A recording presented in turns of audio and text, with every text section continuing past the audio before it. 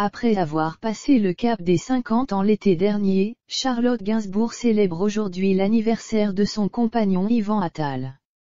Pleine d'humour, avec un appareil photo en main, l'actrice et interprète a marqué l'événement avec une étonnante photo Joyeux anniversaire Yvan Attal.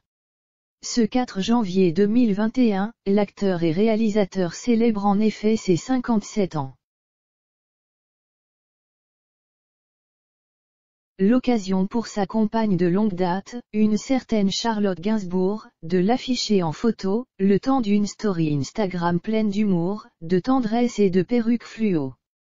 Après 30 ans de vie commune, entre la France et les États-Unis, il continue de former l'un des couples de stars les plus solides mardi midi, Charlotte Gainsbourg s'est saisie de son compte Instagram bien fourni pour relayer une surprenante photo de sa moitié en story, Yvan Attal apparaît sérieux au téléphone, accoudé à la cuisine, devant un livre de recettes, une perruque rose fluo sur la tête et ce, comme si de rien n'était, voire diaporama. Joyeux anniversaire mon amour, lui adresse-t-elle alors, en anglais.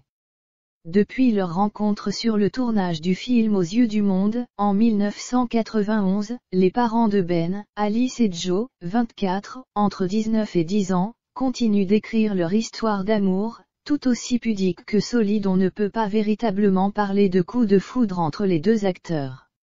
On s'est vu pour la première fois à l'occasion d'une répétition d'Au du monde, d'Éric Rochant, où elle jouait mon amoureuse, s'était souvenu Yvan Attal, auprès de Psychologie Magazine en 2013.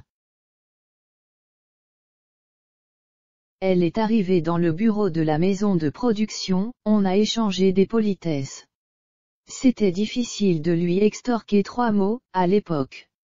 Il a alors dû faire preuve de patience et de détermination pour séduire Charlotte Gainsbourg. On s'est retrouvé chez une amie commune.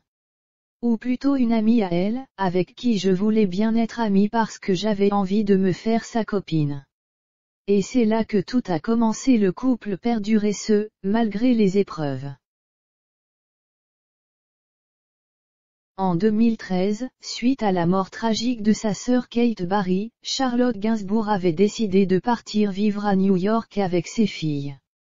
Après cette année passée entre deux continents, l'interprète et comédienne est finalement rentrée en France lors du premier confinement, au printemps 2020.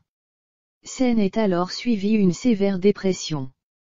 Soutenue par son compagnon et sa mère Jane Birkin, Charlotte Gainsbourg a retrouvé le sourire et la caméra.